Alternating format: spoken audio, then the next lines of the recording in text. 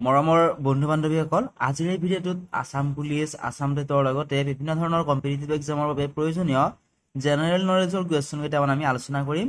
ভিডিঅ'টো শেষলৈকে চাই থাকিব। আৰু যদিহে আপুনি আমাৰ টেলিগ্ৰাম গ্ৰুপত জইন হ'ব বিচাৰে ডেছক্ৰিপশ্যনত লিংক দিয়া আছে তাত ক্লিক কৰি জইন হ'ব পাৰিব। যদিহে এতিয়ালৈকে আমাৰ ইউটিউব চেনেলটো ছাবস্ক্ৰাইব কৰা নাই তেনেহ'লে চেনেলটো ছাবস্ক্ৰাইব কৰি ল'বা আৰু কাষতে থকা ঘণ্টা বুটামটো টিপি অল কৰি ল'বা। তেতিয়া মই দিয়া ভিডিঅ'ৰ নটিফিকেশ্যন তোমালোকে পোনপ্ৰথমেই পাবা। ইয়াৰ এক নম্বৰ প্ৰশ্নটো দিছিল যে উত্তৰ পূব সীমান্ত ৰেলৱেৰ মুখ্য কাৰ্যালয় ক'ত অৱস্থিত? ইয়াৰ উত্তৰটো হ'ব উত্তৰ পূব সীমান্ত ৰেলৱেৰ মুখ্য কাৰ্যালয় মালিগাঁৱত অৱস্থিত। দুই নম্বৰ প্ৰশ্ন পৃথিৱীৰ বৃহত্তম নদীদ্বীপটোৰ নাম কি? ইয়াৰ উত্তৰটো তোমালোকে নিশ্চয় জানা উত্তৰটো হ'ব মাজুলী। মাজুলী হৈছে পৃথিৱীৰ বৃহত্তম নদীদ্বীপ। তিনি নম্বৰ প্ৰশ্ন কটন কলেজ কিমান চনত স্থাপন কৰা হৈছিলে? ইয়াৰ উত্তৰটো হ'ব ঊনৈছশ এক চনত ঊনৈছশ এক চনত কটন কলেজ স্থাপন কৰা হৈছিলে। চাৰি নম্বৰ প্ৰশ্ন অসমৰ কোন ঠাইত খাৰ কাৰখানা আছে? ইয়াৰ উত্তৰটো হ'ব নামৰূপত পাঁচ নম্বৰ প্ৰশ্নটো চোৱা অসমৰ প্ৰথম ভ্ৰাম্যমান থিয়েটাৰ দলটোৰ নাম কি? ইয়াৰ উত্তৰটো হ'ব অসমৰ প্ৰথম ভ্ৰাম্যমান থিয়েটাৰ দলটোৰ দলটোৰ নাম হৈছে নটৰাজ থিয়েটাৰ। ছয় নম্বৰ নটসূৰ্য বুলি কাক কোৱা হয়? ইয়াৰ উত্তৰটো হ'ব ফণী শৰ্মা। ফণী শৰ্মাদেৱক নটৰা নটসূৰ্য বুলিও কোৱা হয়। সাত নম্বৰ প্ৰশ্নটো মন কৰা অসম সাহিত্য সভাৰ প্ৰথম সভাপতি কোন আছিলে? ইয়াৰ উত্তৰটো হ'ব অসম সাহিত্য সভাৰ প্ৰথম সভাপতি আছিলে পদ্মনাথ গোহাঁই বৰুৱা। আঠ নম্বৰ প্ৰশ্নটো চোৱা নৰনাৰায়ণ খেতুৱে পঞ্চৰত্নৰ সৈতে কোনখন ঠাইক সংলগ্ন কৰে? ইয়াৰ উত্তৰটো হ'ব নৰনাৰায়ণ খেতুৱে পঞ্চৰত্নৰ সৈতে যোগীসোপাক সংলগ্ন কৰে। ন নম্বৰ প্ৰশ্নটো চোৱা হালধীয়া চৰায়ে বাওধান খাই চলচ্চিত্ৰখনৰ পৰিচালক কোন আছিলে?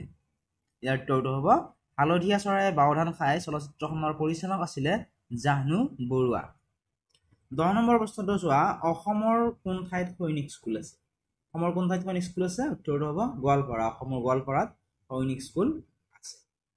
এঘাৰ নম্বৰ প্ৰশ্ন অসমৰ ৰাজ্যিক ফুল কি? ইয়াৰ উত্তৰটো হ'ব অসমৰ ৰাজ্যিক ফুল হৈছে কপৌ ফুল বাৰ নম্বৰ প্ৰশ্নটো চোৱা মানাহ কোনবিধ জন্তুৰ বাবে বিখ্যাত? ইয়াৰ উত্তৰটো হ'ব মানাহ বাঘৰ বাবে বিখ্যাত। নেক্সট প্ৰশ্নটো চোৱা দিছপুৰৰ আগতে অসমৰ ৰাজধানী ক'ত আছিলে? বৰ্তমান অসমৰ ৰাজধানী হৈছে দিছপুৰ। কিন্তু দিছপুৰৰ আগতে অসমৰ ৰাজধানী ক'ত আছিলে? ইয়াৰ উত্তৰটো হ'ব শ্বিলঙত। চৈধ্য নম্বৰ প্ৰশ্ন ভাৰতৰ কোনখন ৰাজ্যত পথৰ ঘনত্ব সৰ্বাধিক? ইয়াৰ শুদ্ধ উত্তৰটো হ'ব কেৰেলাত। পোন্ধৰ নম্বৰ প্ৰশ্ন অসমৰ প্ৰথম মহিলা মুখ্যমন্ত্ৰী কোন আছিলে? ইম্পৰ্টেণ্ট প্ৰশ্ন হয় এইটো। অসমৰ প্ৰথম মহিলা মুখ্যমন্ত্ৰী কোন আছিলে? উত্তৰটো হ'ব ছয়দা আনোৱাৰা টাইমুৰ আছিলে অসমৰ প্ৰথমগৰাকী মহিলা মুখ্যমন্ত্ৰী। ষোল্ল নম্বৰ প্ৰশ্ন অসমৰ জাতীয় পক্ষী কি? ইয়াৰ উত্তৰটো হ'ব দেওহা। দেওহা হৈছে অসমৰ জাতীয় পক্ষী। সোতৰ নম্বৰ প্ৰশ্ন চোৱা কিমান চনত আছাম এছ'চিয়েশ্যন গঠন হৈছিলে? ইয়াৰ উত্তৰটো হ'ব ঊনৈছশ তিনি চনত। ঊনৈছশ তিনি চনত আছাম এছ'চিয়েশ্যন গঠন কৰা হৈছিলে। ওঠৰ নম্বৰ প্ৰশ্ন ডিগবৈ তেল শোধনাগাৰটো অসমৰ কোনখন জিলাত অৱস্থিত? ইয়াৰ উত্তৰটো হ'ব তিনিচুকীয়া জিলাত। ডিগবৈ তেল শোধনাগাৰ অসমৰ তিনিচুকীয়া জিলাত অৱস্থিত।